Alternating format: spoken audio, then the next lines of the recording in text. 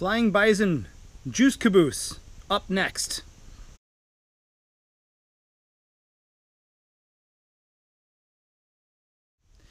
This is a beer from Flying Bison Brewery right here in Buffalo, New York, and it's called the Juice Caboose, and it's an IPA. It's from their small batch series, and this is a really, really good beer. I'm so proud of them. I think they knocked it right out of the park with this one. It's a 7.5% alcohol by volume IPA with a um, IBU rating of 45. Right from the label, it says Juice Caboose, New England style IPA was inspired by the iconic Buffalo Central Terminal, which is located near our brewery. This beer has a low hop bitterness and a creamy mouthfeel with notes of fruit and pine. It's big and it's juicy. Chug a choo choo. So, I had this beer um, a couple of times right after I bought it, and I was just blown away. I'm sorry I didn't get it on uh, to film sooner than Saturday for you guys in case you guys wanted to take a look at it. But again, this is the Flying Bison Juice Caboose. Wicked. Woo! It's and it's you know right out of the out of the bottle. You can smell this thing from a foot away. It's awesome. It's um you know it's it's super hazy. Um, just like all of you know, I think all of our favorite IPAs are these days. Uh, really well carbonated, and it's got that really nicely packed um, head, but it doesn't really seem to stick around too much. Laces, all right. Yep, and it is all sorts of juicy, citrusy, uh, with just a little uh, rider of, of pine, I think, on the aroma. Uh, but this smells just absolutely wonderful. It really does. So, let's see how this tastes, huh? Whew.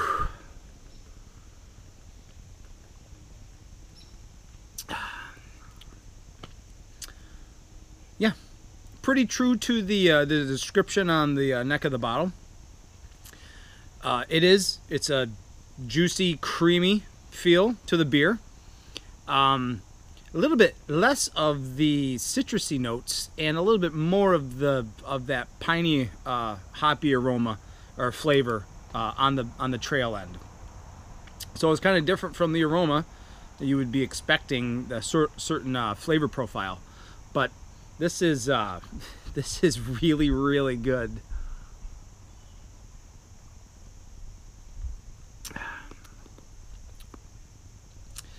Yeah, I can see some grapefruits. Uh, I can see a little bit of uh, orange sort of uh, flavors there, and a really nice New England style IPA. Uh, for it being 7.5% alcohol, it's it's not a, a, really strong feeling and tasting type of beer. Uh, the 45 IBUs are even a little, you know, that's just generous. I think it's, it doesn't drink like um, you know a mid 40s IBU beer either. Um, I've been really really happy with this six pack.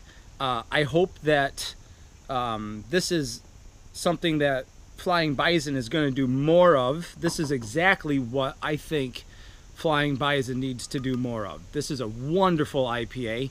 I've seen it on tap, starting to creep around town. I was just at um, the uh, the Westminster Park up on Transit Road in uh, in uh, Williamsville, and they were going to have it on tap uh, very soon. So use your Untappd, find out where it's on uh, on tap around town and uh, go and enjoy it. But this is really, really a great beer. This is not going to be a hard beer to finish.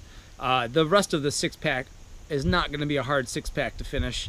Um, yeah, I would. This is a total uh, go pick up and enjoy for your uh, for yourself this weekend.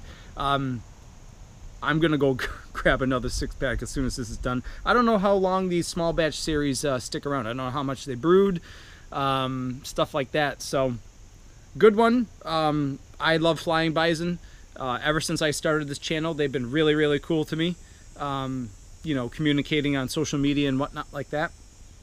So, that's it for me, guys. I hope you uh, enjoyed uh, taking a look at this really, really great beer from our own in Buffalo and um, I hope you go and, and uh, pick up a six pack and support our local breweries.